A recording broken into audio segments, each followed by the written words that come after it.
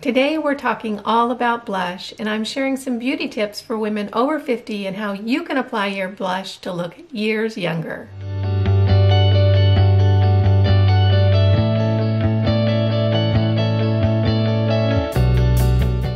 Welcome back. This is Pretty Over 50. I'm Kimberly and I'm really glad you're here. Today we're talking all about blush and how to apply blush now that we're a little bit older. I know that the way that I applied blush when I was in my 20s and 30s and even 40s is different than I need to do it today because, you know, my face has changed a little bit. Things are a little bit lower and you might have noticed the same thing on your face. The good news is, is there's some great beauty tips that we can use to really take some years off our face and, and give us a glowy, youthful look. Before we get started, if you're not subscribed and you'd like to be, just go ahead and click that little red button down below. And if you'd like to be notified when I post new videos, go ahead and click that notification bell and you'll get a little heads up from YouTube when there's a new video there for you to watch. So all about blush today. I do have some great tips to share with you because we can give ourselves kind of a much more youthful, almost facelift like look when we apply our makeup the right way. Now, our cheeks, and maybe your cheeks, my cheeks, are just a little bit lower than they used to be. You know, as we age, the features on our face start dropping a little bit. What we need to do is kind of fool the eye into thinking that our cheekbones are much higher than maybe our skin is showing them to be. So when I'm doing makeup, particularly things like blushes and contouring and even an eye look, I like to use what I call the upstairs technique. And what that means is, is that when I have a choice of focusing on an area of my face, I always try to stay in the upstairs part of that area because that's where I want the eye to go to. So when I'm working with my cheeks, I always work with the upstairs area of my cheek. Now, when I was younger, I used to put the blush right here on the front in the apple of my cheek. If I do that today, it really drags down my face and makes me look older. So I really learned to work on the upstairs area of my cheek. What we're going to do next is I'm going to give you a little demonstration on exactly how I apply the blush to really look you know, I think five or 10 years younger. So let's take a look at that right now.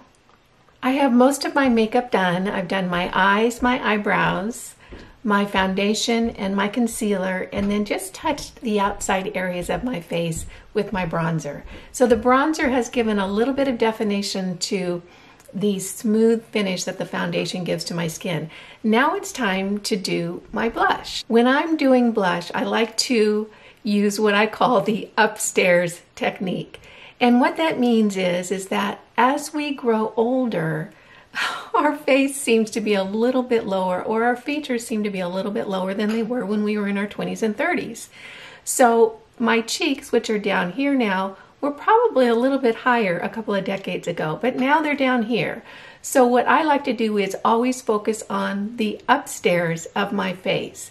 And when we're talking about our cheeks, that's this area right up here. It's the upstairs part of our cheek. If we put blush down here, it really can tend to drag our face down and make us look a little bit older, and we don't really want that.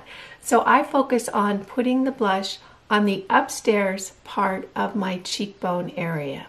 So when you're looking at your face, what you want to do is draw an imaginary line from the middle of your eye down and then from your hollow of your cheek up to your ear.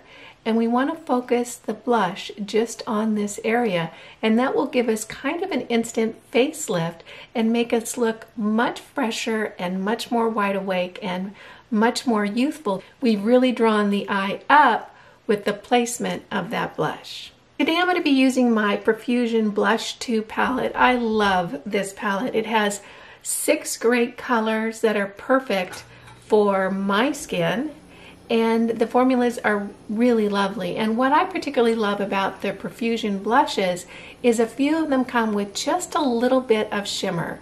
And I'm not talking glitter, I'm just talking just a little bit of that glowy, dewy look.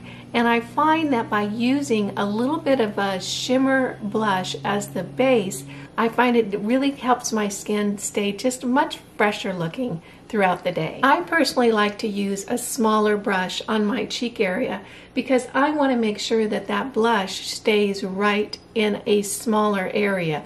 Remember, we're not going to be going past the center of our eye. We're going to be keeping all the color up here. So I'm going to take this small brush, and this is a Real Techniques brush. It came in a travel kit, which is why the handles are so short, but I love them so much I've kept them on my makeup table. And I'm just going to dip it in real gently into this color up here. It's Pink Star, and this is the color that has just a little bit of shimmer in it. I'm going to tap that off my brush, and then I'm just going to real lightly apply that in soft circular motions in that upstairs area of my cheek. Just small circular motions. Best to start off with a little bit of product because you can always build up.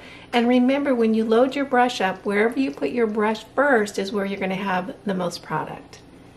So I'm just going to very slowly blend that in and up. And you can see already how much lift that's added to that cheek area. We're really fooling the eye into thinking that this is the cheek area and not this.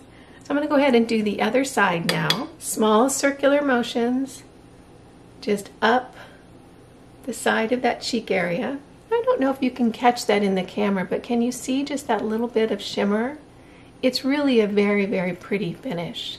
Now I'm going to go in with my blending brush, and this is the same brush that I use my bronzer with, so it has a little bit of product left on it, and that's really going to blend those two colors in together.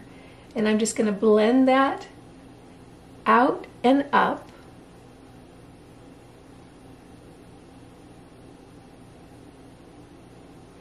So that it really has a smooth look on that side of the face. Now I'm going to go into a color called Smitten, which is right down here, and it's a little bit of a peachy color. Doesn't have any shimmer in it.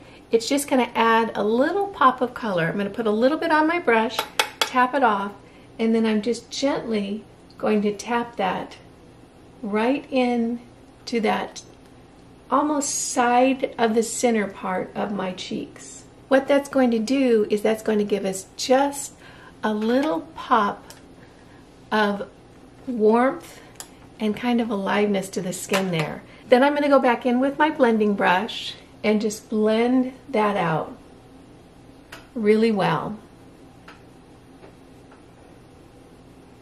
Both sides.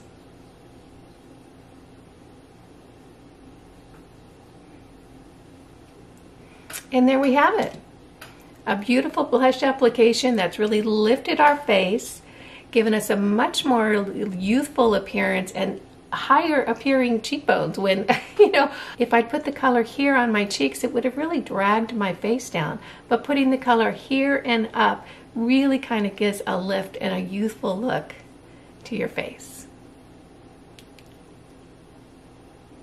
Well, I'm going to pop off now and do the finishing of my makeup and I'll be right back.